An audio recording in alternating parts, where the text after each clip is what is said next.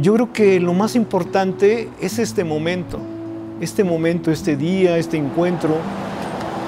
Para mí es lo más importante. Mañana, no lo sé, ¿no? Ya cuando veo la luz del mañana, ya pensaré qué hacer en, ese, en esa parte, ¿no?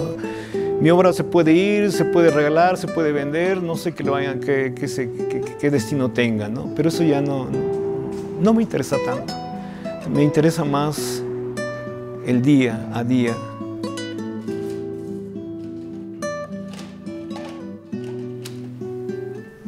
Mm, yo me describo como una persona feliz, contenta y agradecido de la vida, agradecido de Dios por llegar a esta, a esta edad, a estas alturas de mi edad, seguir haciendo con lo que me gusta, lo que me agrada y estando bien, en buena salud, yo como, como, un hombre feliz.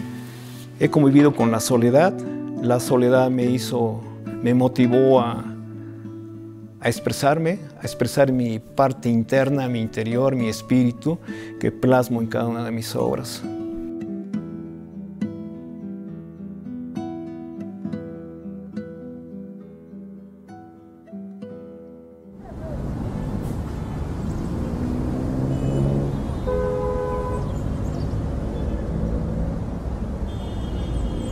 El centro histórico de la ciudad de Puebla es historia viva, cultura y arte, que no solo se ve en sus monumentos, edificios y fachadas, sino que también es parte vital de sus habitantes. Este relicario vivo es el hogar de José Velázquez, quien durante gran parte de su vida se ha dedicado a la conservación del patrimonio histórico local y de otros sitios del país. Además de conservar el espíritu valiente que distingue a muchos mexicanos que luchan incansablemente para realizar sus sueños. Él nunca se ha rendido. Desde pequeño tuvo que luchar contra todo, no solo por él, sino por sus seres amados. José Velázquez es ejemplo de perseverancia y esta es su historia. Porque como tú y como yo, todos tenemos algo que contar.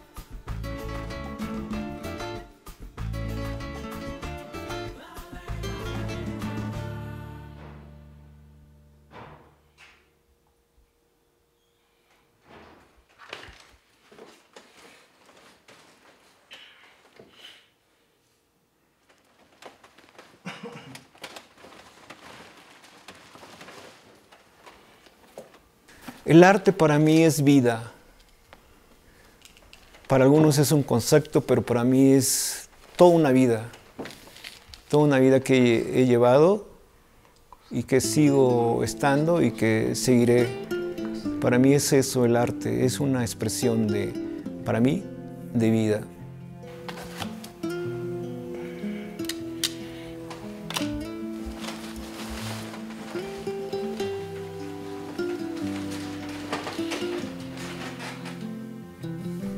Los primeros años de mi vida que pasé en una comunidad este, de Veracruz fueron de mucha responsabilidad. Desde pequeño me enseñaron a trabajar, a hacer diferentes tareas, por la misma necesidad que éramos numerosa, era numerosa la familia. Éramos ocho hermanos, entonces las necesidades económicas eran bastante grandes y yo fui una de las personas que tuve que andar en diferentes actividades económicas como vender café, vender pan, ayudar a las personas que, que hacían esa actividad. Y además como llegamos a una comunidad rural donde no había los, eh, lo más básico desde el agua, desde la luz. Entonces en, esas comunidad, en esa comunidad se, se requería hacer todos esos servicios. Y bueno, pues a mí me tocó esa responsabilidad de hacerla.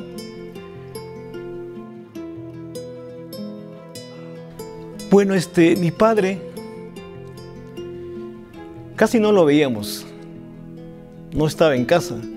Con la que más dialogábamos, con la que más platicábamos era con mi madre. Porque mi madre pues siempre estaba estaba, estaba en el hogar. Mi padre salía desde muy temprano a, a laborar. Regresaba hasta en la tarde, noche. Y bueno, pues casi no había mucho diálogo con él.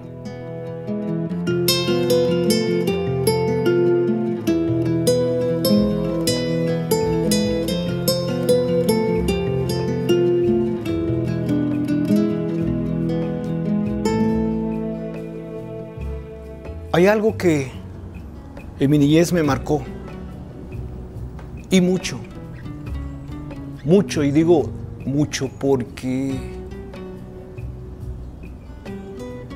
asumí responsabilidades que a lo mejor no me tocaban, que no me correspondían. Pero no critico a mis padres y tampoco estoy renegando esa parte era la misma necesidad del lugar que en cierta forma obligaron a, a colaborar, a participar. Yo ya tenía sentido de eso, ya, ya sabía para qué era. Pero no sabía que asumiendo esas responsabilidades a esa edad, desde estudiar, y trabajar a futuro me, afectara. Que a futuro fuera un rebelde, un rebelde de, de, las instituciones, de las órdenes, del mandar. Porque como niño, pues era mandado. Era mandado por la parte por mis padres, otra parte por donde, en las instancias donde trabajaba, en el molino, en la tortillería, con la persona que le llevaba cargando la bolsa. Entonces asumir esa responsabilidad hizo que a futuro dijera, ya, ya basta, ya basta. Entonces sí, fue ese motivo ese cambio que me marcó parte de, mi personalidad.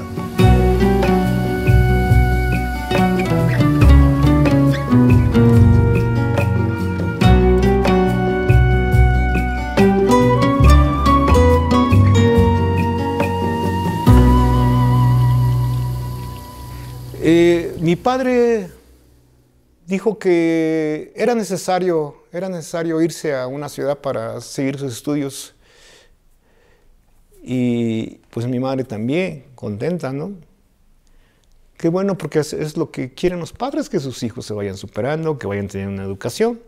Y se van a Puebla, otra vez regresan a la ciudad, se van a estudiar. Ya llegando a Puebla, este, rentamos un departamento, eh, se vinieron mis dos hermanos, los, otros tres. Ellos empezaron a, buscar trabajo porque había, eh, teníamos que buscar la solvencia económica para podernos alimentar y pagar la renta. Ellos como mayores pues empezaron a buscar trabajo que era más fácil para ellos y se incorporaron a, a una empresa. Yo estando en casa, pues, igual como ya traía eso de, de, ganar mi, mi, dinero, de tener mis centavos en el bolsillo, pues también empecé a buscarlo. Lo empecé a buscar en, la, en el centro, en el centro histórico. Y y bueno, pues este, andando por el centro histórico y caminando por, por la Maximina Vila Camacho, eh, vi cómo salían salían jóvenes con sus con pinturas, con sus pinturas, con sus dibujos, algunos bajo el brazo, otros en sus manos, y muy alegres, muy contentos. Logré observar que llevaban sus dibujos, entonces yo dije, wow, aquí hacen, aquí hacen sus dibujos aquí hay artistas. Empecé a recordar todo lo que me mostraban mis maestros y ahí decía, la academia, Academia de Bellas Artes. Pues ingresé. Para muchos el ser artista pues no era una, propiamente una carrera. Era así una como distracción, algo que se te ocurre y, y lo hacen, ¿no? Entonces, por plática de mis padres, de mis amigos y sobre todo de mi tío, pues vámonos a estudiar la preparatoria. Entonces ahí interrumpo esa parte de, continuar con, con el arte. Para mí ya empezaba yo a manejar ese término, ese concepto de arte. Va, me incorporo a la preparatoria y pues me, me fui por otro camino. Otro camino que no era propiamente el arte como lo había pensado desde, la, desde mi niñez.